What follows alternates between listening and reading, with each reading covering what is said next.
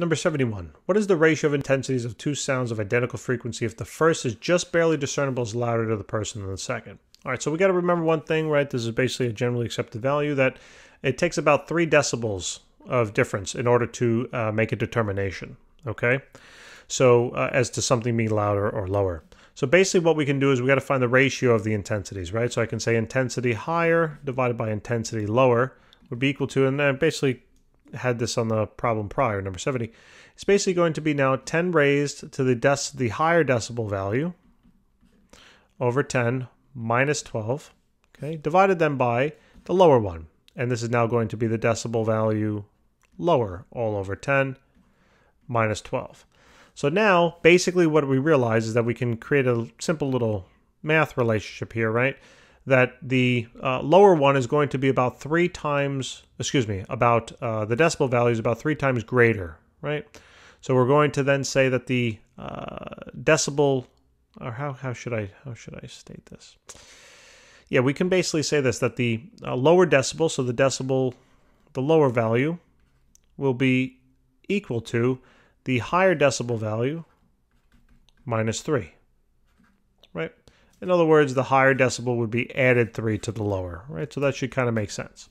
So now basically what I can do is I can do a substitution, right? I can plug this on in for my lower decibel value, okay? So this is the higher intensity divided by the lower intensity will basically be equal to 10 raised now to the d BH all over 10 minus 12 divided now by 10 raised to the DBH minus 3 over 10 minus 12. Okay? Rules of uh, exponents here. When I divide same bases and when I do a division, I can take this and subtract this from it.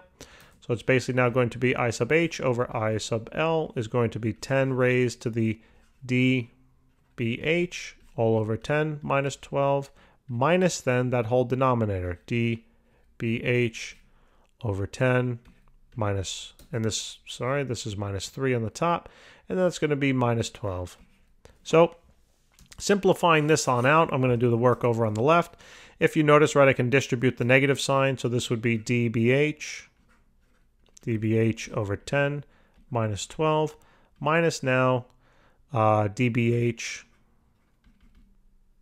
minus 3 all over 10 plus then 12. Notice the 12s cancel. Now what I can do is put each of these over them, you know, over 10 by itself. So that would be dBH over 10 minus dBH over 10. Uh, then this would be a double, actually a double negative, right? So that would be plus then 3 over 10. Notice these would cancel, and that leaves me now, finally, with just the value of IH over IL is equal to now 10 raised to the 3 tenths. Right? And what do we get? So 10 raised, so 10, 10 raised to the 0.3 basically, and that's about, oop, came out to negative 3 somehow. 10 raised to the point, that's because I hit that, 0.3, and that's about 1.99, aka about 2. All right, so it's about 2 times uh, 2 to 1, okay? So it's about 2 times more intense. Guys, thank you very much. Please remember to help us out and subscribe, and we'll see you soon. Take care.